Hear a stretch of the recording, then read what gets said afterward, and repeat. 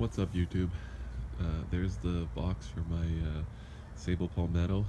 Uh, it's a, a nice uh, sunny morning. Uh, it's a little cold as you can see there's some light snow on the ground. Uh, inside that box I got the temperature sensor. It stays right around 8 to 9 degrees. The temperature sensor is not at the bottom though. It's about midway and the thermal cube's almost kind of right on the ground. I don't know maybe if I should move the thermal cube up a little bit higher but uh, I don't know. Maybe somebody knows if 9 or 10 degrees is a little too hot.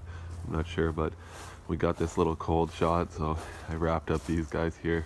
Uh, I'm not going to keep them wrapped up. I'm going to unwrap them as soon as the uh, warm weather comes back. It's only supposed to be cold for two days like this so uh, I what I did is I wrapped them uh, with a, with burlap both of them with burlap and tied up the fronds. And then I uh, wrapped a like insulation sleeve uh, all the way around them like an R5 insulation uh, thin sleeve all the way around them uh, all the way up to the top to the fronds and uh, before actually before I put the insulation on I put a, a 12 foot of heat cable starting at the very trunk spiraling up.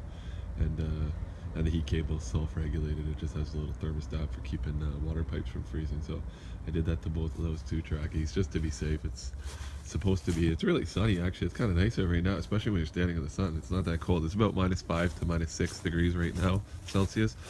Um, but it did get down to minus I think eight or nine last night. Grass is still nice and green and sunny. Uh, and then these are the two smaller trachys in the front and uh, I boxed them up last night quickly too. I just did 2x4 frame with R4, uh, R5 foam, kind of like the big box there.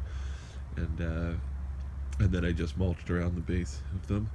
And I just have one light on a thermal cube in each of them, one 13 watt uh, CFL.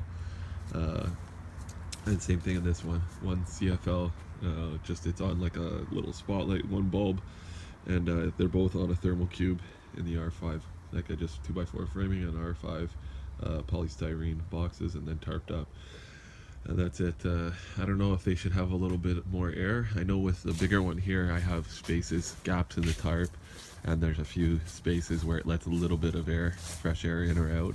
Um, these ones here though, they're mulched up pretty good. They're sealed up pretty good. I don't know if it really matters or not. Uh, I didn't burlap up them or anything. I just tied up the fronds. So, I don't know maybe uh, if anybody knows, let me know. Alright, well that's all for now. Thanks.